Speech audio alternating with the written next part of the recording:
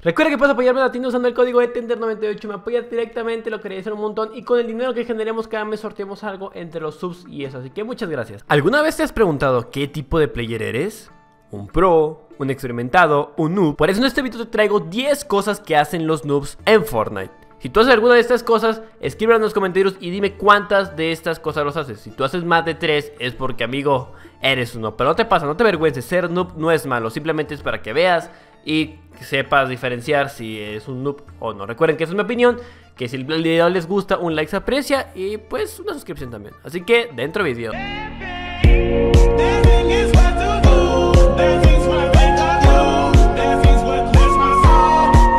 Normalmente los noobs caen en lugares que no tienen nombre. ¿A qué me refiero con lugares que no tienen nombre? Lugares donde no hay casi nada. Quiere decir en casitas alejadas del mapa, en pues lugares donde pues hay muy poco loot, pero tampoco cae casi gente. Esto es para que pues ellos que no son tan experimentados caen ahí para no morir tan rápido y puesto que si caen en un lugar donde hay mucha gente, ya sea ciudades como Tate Tower, Ciudad Comercio, Present Bar, pues sí hay bastante loot, pero también hay bastantes personas y tu probabilidad de morir es más alta. Así que como ellos no son tan buenos, caen en lugares donde no cae gente para poder sobrevivir más tiempo en la partida.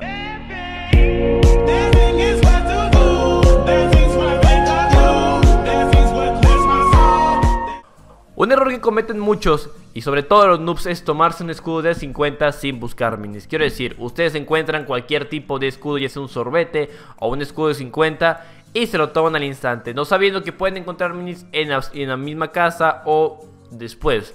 Quiero decir, se desesperan, dicen un escudo, wow, me lo quiero tomar, te lo tomas y te das cuenta que en la siguiente habitación o en el siguiente lugar donde vas hay minis, ¿no?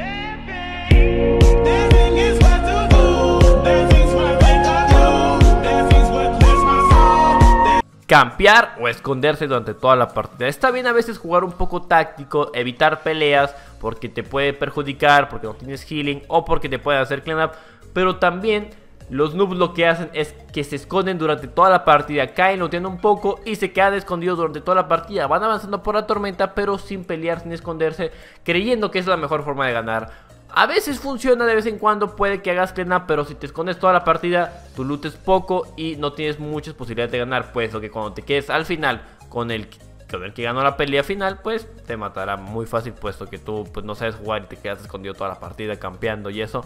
Aunque a veces, si te quedas campeando y le das un snipazo a alguien de suerte, pues puede que te funcione. Pero normalmente están escondidos la mayor parte de la partida y mueren escondidos.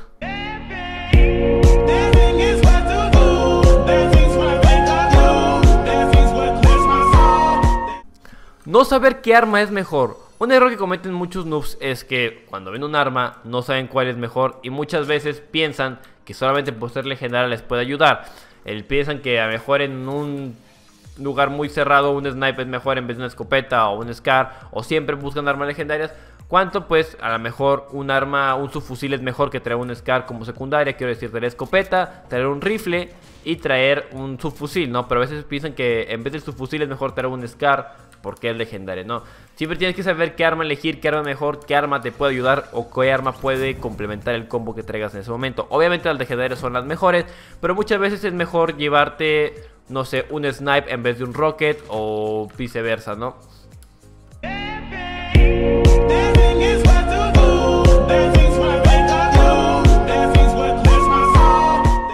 Una cosa típica de que cometen los noobs, sobre todo los que juegan en consola, no es por discriminar ni nada, es que caminan hacia atrás. En vez de girar y dar la vuelta o construir, normalmente se hacen para atrás cuando ven problemas o cuando quieren disparar, disparan caminando hacia atrás, lo cual es muy curioso. Porque se ve bastante, pues bastante chistoso que estén caminando hacia atrás apuntando o queriendo escapar caminando hacia atrás en vez de voltearse y correr, ¿no? O sin siquiera sprintear.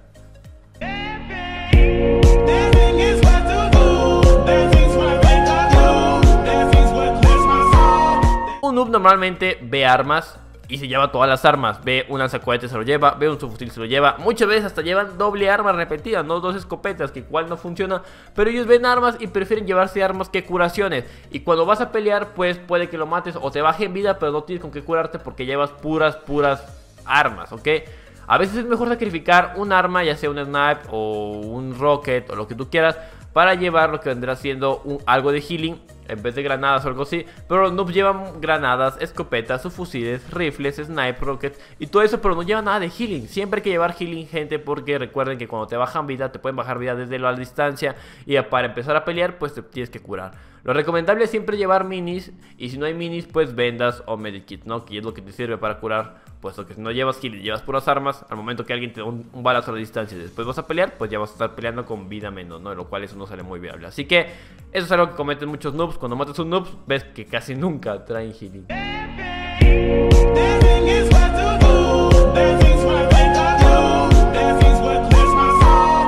Tardar mucho en construir. Esto no lo confundan. Está bien no construir tan rápido. No quiero decir que construir rápido sea de pros o que si construyes no tan rápido no seas un noob. Si no me refiero a construir extremadamente lento. Tardar años en poner una pared, tardar años en cambiar a una escalera, tardar años en poner un piso. Eso normalmente lo hacen los noobs. Está bien construir un lento, pero pues saber que pues puedes construir un cubo para cubrirte y elevar como una rampa o a una altura, pues un poquito rápido. Pero si eres extremadamente lento al construir, normalmente te van a matar y te van a disparar porque pues lo que tú construyes, el otro ya llegó a donde estás tú y te va a matar en lo que tú tratas de construir. O te va a matar con hojita de construcción en mano porque construyes muy lento. Hay que poder practicar esto, lo puedes practicar en patio de juegos, en creativo, en todo ese rollo.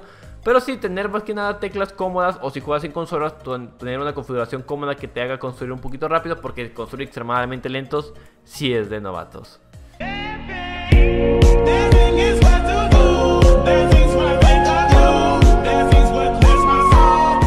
Morina Tormenta, un noob normalmente muere a Tormenta. ¿Por qué? Porque se queda escondido, no quiere pelear o ni siquiera sabe dónde está posicionado. No tiene noción del tiempo, no tiene noción de dónde está posicionado. Y la Tormenta casi siempre se los come. Ellos van, están pensando en que no quieren pelear, están empezando a encanar y en esconderse Pero no se dan cuenta que la Tormenta cerró hasta el otro lado del mapa, ¿ok? Ellos se mueven cuando ven que la Tormenta viene detrás de él Pero muchas veces cuando la Tormenta viene detrás de él El lugar seguro o el círculo está demasiado lejos y terminan muriendo por la tormenta por no moverse a tiempo o por no saber dónde cerró el punto.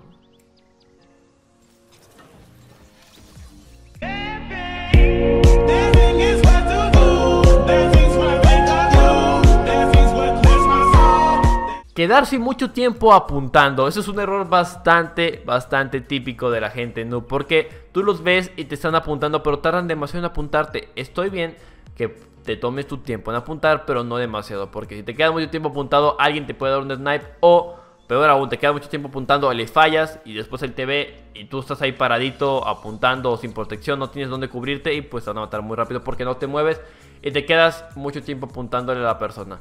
Eso tiene que ser un poco rápido, gente. Es apuntar, tratar de aimear un poco mejor y dispararle. Cuando él te vaya a disparar, te construís ya, pero no te quedes todo el tiempo apuntándole porque o él te puede disparar a ti, ya que no te estás moviendo y es más fácil darle a un objetivo que no se mueve o te puede caer un tiro de algún otro lado ya que estás sin moverte y ahí paradito apuntando. No hay que apuntar rápido y si fallo los tiros puedes posicionarte y volver a intentar apuntar.